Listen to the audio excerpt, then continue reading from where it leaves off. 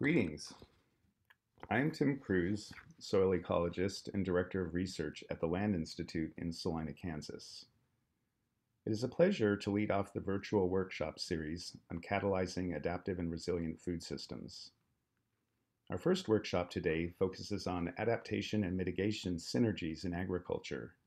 And I'm going to start by asking, where might we find really effective and viable adaptation and mitigation strategies for climate change that are broadly applicable here in the US and around the world.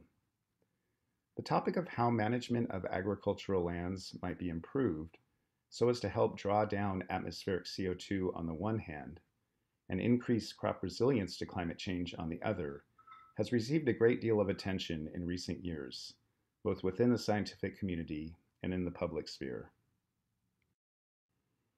Countless research papers and many of them very compelling, have been written on how new emphases in plant breeding or the addition of novel soil amendments such as biochar or ground rock dust could improve on climate change mitigation and possibly adaptation. At the same time, there's been growing interest among the public in how adoption of what is increasingly be called regenerative farming practices can achieve climate mitigation and adapt adaptation goals. There are many groups working today to, pr to promote regenerative agriculture. Some are quite rigorous with scientific evidence, while others make claims that the scientific literature does not necessarily uphold. The recently released paper by the Rodale Institute and Carbon Underground on regenerative agriculture and the soil carbon solution makes the claim that Global adoption of regenerative practices across both grasslands and arable acreage could sequester more than 100% of current anthropogenic emissions of CO2, and that stable soil carbon can be built quickly enough to result in a rapid drawdown of atmospheric carbon dioxide. Last week in the online publication Civil Eats, Virginia Gewin interviewed several prominent soil carbon researchers to hear their reaction to this updated Rodale white paper. And there was pretty consistent frustration voiced about what I refer to as carbon exuberance. For example, John Foley, formerly the director of the California Academy of Sciences, and now the executive director of Project Drawdown, said, Regenerative agriculture is a powerful drawdown, both to reduce emissions and add new carbon sinks. But preposterous claims that are easily debunked only undermine the message that regenerative agriculture is one of the few areas that can potentially solve around 10% of climate change. Does the fact that overzealous claims are made by some soil carbon enthusiasts somehow mean we should reject the idea of regenerative agriculture as a whole? Well, the quote from John Foley suggests he doesn't think so, and neither do I.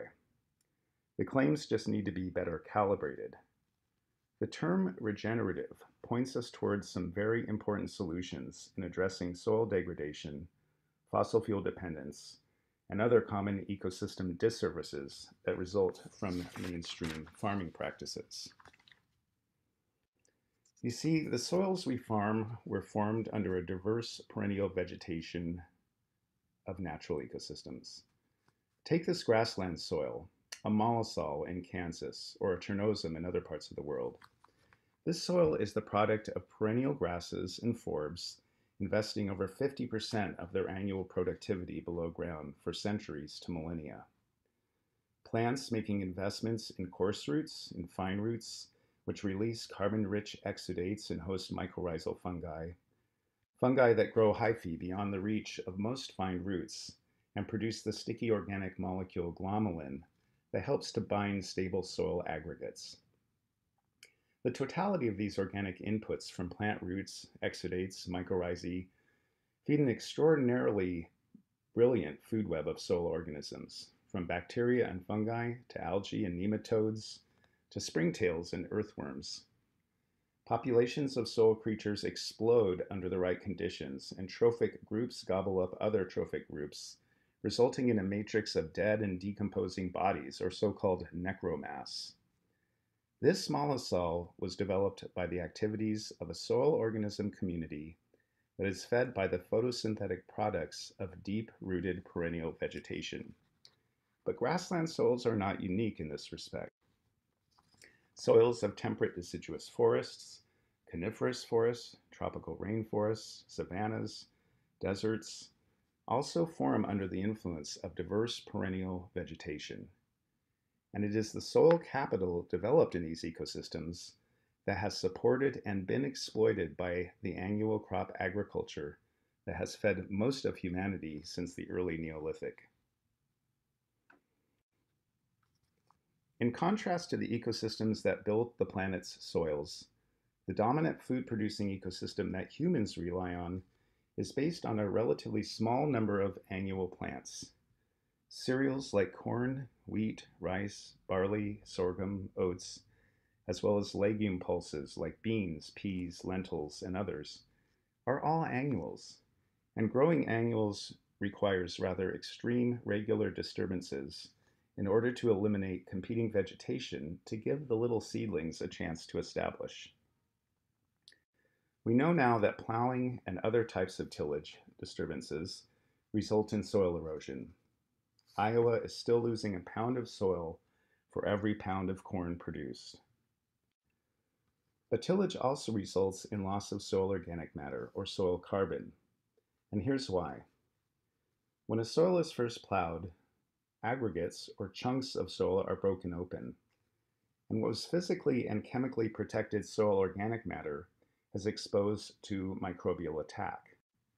The microbes chow down and metabolize this organic matter, breathing out carbon dioxide. So losses of soil carbon via microbial respiration go up following tillage conversion to agriculture. At the same time soil carbon losses go up, soil carbon inputs from roots go down. Roots are the most important source of carbon inputs for the formation of soil organic matter. Temperate grassland vegetation allocates on the order of 40 to 70% of total productivity below ground whereas annual grains allocate only 15 to 25%.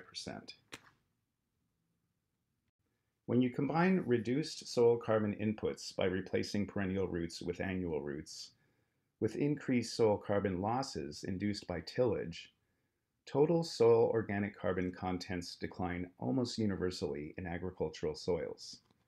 The two soils in this figure by Schlesinger pretty much bracket the range of soil carbon loss in the decades following agricultural conversion. The x-axis is years of cultivation since conversion, and the y-axis is percent of original soil organic carbon remaining. The Nebraska soil lost about 25% of soil organic carbon before leveling off in three decades, while the soil in Alberta lost closer to 60% over six decades. If there is any one denominator that defines the regenerative agricultural movement, it is the goal to modify farming practices in order to reverse this pattern. Regenerative agriculture focuses on ways for farmers and ranchers to build soil organic matter in order to improve soil health.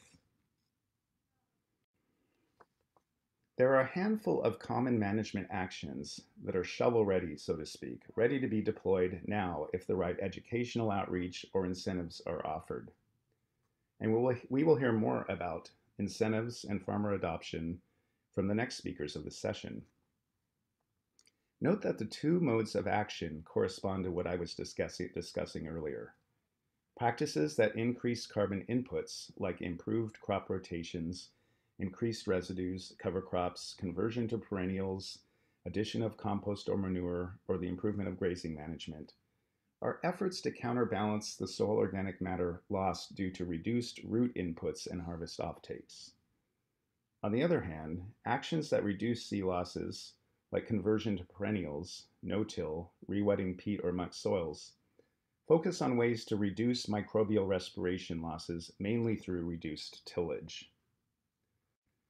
Note also that only one management practice that simultaneously increases C inputs and reduces C losses is on the chart. It is conversion to perennials.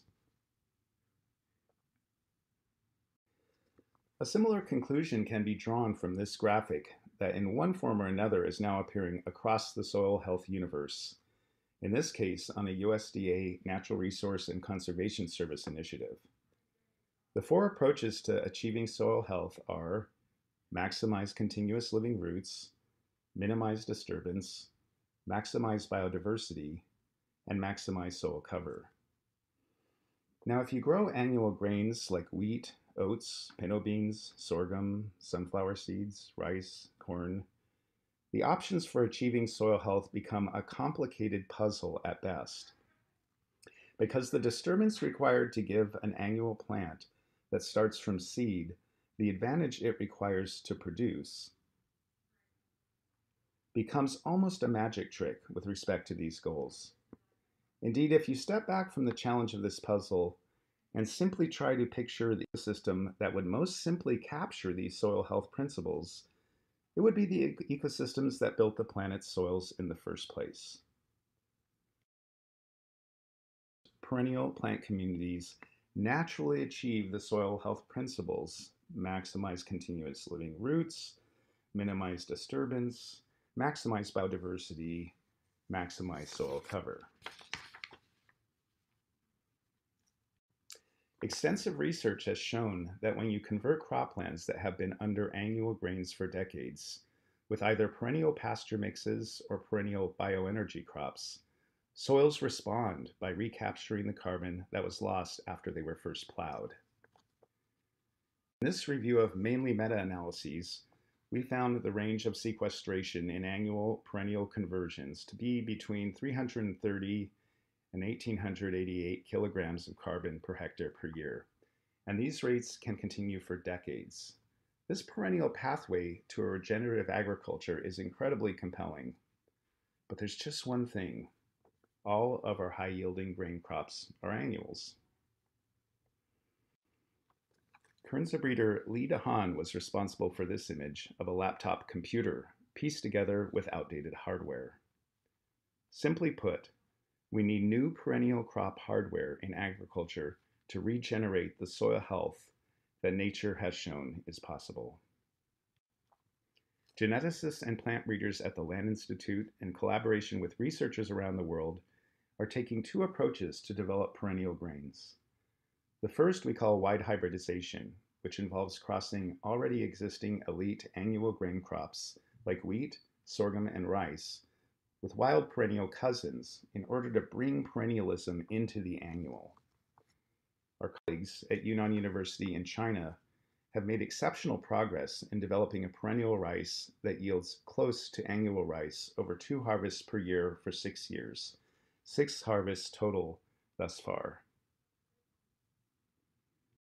The second approach being taken to develop perennial grain crops is to domesticate wild perennial plants through repeated cycles of selection and crossing, focusing on classic domestication traits like seed size, evenness of maturation and germination, as well as disease resistance and plant stature. By working to develop new crop species, we can intentionally choose plants that hold particular promise for climate change adaptation. Like the oilseed crop Silphium, a member of the sunflower family, which produces abundant seed while maintaining a root system that equips this crop to withstand extended periods of drought. Another new domestication project that some of you may have heard about is Kernza, a grain produced by intermediate wheatgrass. Kernza is the only grain we are working on that is being grown on farms, mainly in the Midwest and increasingly in Europe, but also by a group of researchers here at UC Davis. This photo is a below-ground side-by-side comparison of Kernza and annual wheat. The contrast in root allocation is even clearer when the plants are grown in tubes so the roots can be cleaned of soil, with annual winter wheat occupying the left side of each of these seasonal snapshots. And for those of you who prefer graphs, these are root biomass data of wheat and Kernza roots measured by Christine Sprunger in her dissertation work at Michigan State University. Given the root system of Kernza, it may not be surprising to see that carbon does not accumulate that, that carbon does accumulate when this crop is planted following years of annual cropping.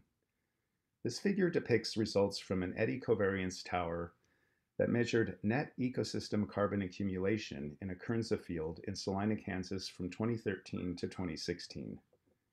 The field had already been in Kernza for two years when the measurements started, and what we see are very substantial carbon gains, up to 5.7 tons per hectare per year in the first years of the study.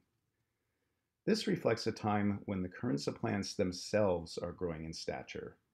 Once the crop has reached full size above and below ground, then turnover and decomposition of roots and above ground biomass returns a larger and larger portion of a given year's carbon gains to the atmosphere as CO2. But there's good reason to believe that net ecosystem carbon accumulation will remain positive for quite some time as the soils sequester carbon in stable aggregates that is not vulnerable to microbial consumption and thus respiration. Indeed, this is what we found on a site with the same soil type as the eddy covariance study in a 16-year comparison of intermediate wheatgrass or kernza with an annual rotation of soy, sorghum, and wheat. The soil under the perennial grain accumulated about one ton of carbon per year more than the annual grains. While the new hardware of perennial crops or protocrops is under development, we are able to begin the exciting work of diversifying perennial cropping systems. There's a growing body of research that shows a positive relationship between plant community diversity and soil carbon accumulation. Adding a nitrogen fixing legume like alfalfa to a cereal like kernza is an attractive first step, given that synthetic nitrogen fertilizer inputs represent the greatest fossil fuel input into crop production and nitrogen fertilizers are a root cause of elevated emissions of the potent greenhouse gas nitrous oxide. We have compared nitrous oxide emissions from Kernza plots that receive urea fertilizer with Kernza that is intercropped with alfalfa as a nitrogen source, and have found some promising results. For two years, the Kernza alfalfa intercrop emitted significantly lower rates of nitrous oxide compared to the Kernza fertilized with urea and phosphate. This reduction of nitrous oxide emissions is one of the many ecosystem services that are predicted to regenerate as we move agriculture from a perturbed or disturbed ecosystem to one that functions more like a grassland or forest. In recent years, many people have started working on ways to change agriculture from a source to a sink of greenhouse gases while at the same time making it more resilient to climate change. Regenerative agriculture is a loosely defined umbrella movement that encompasses a wide range of practices purported to improve on soil organic matter and in turn soil health. In this talk, I've suggested that the most regenerative agriculture is one that is going to include essential features of the ecosystems that came before agriculture, the ecosystems that formed the soils that we currently farm. A natural systems inspired agriculture not only holds the greatest promise to regenerate soil carbon simply as a consequence of farming, but it is likely to improve on other critical ecosystem services as well. Thank you so much for your attention.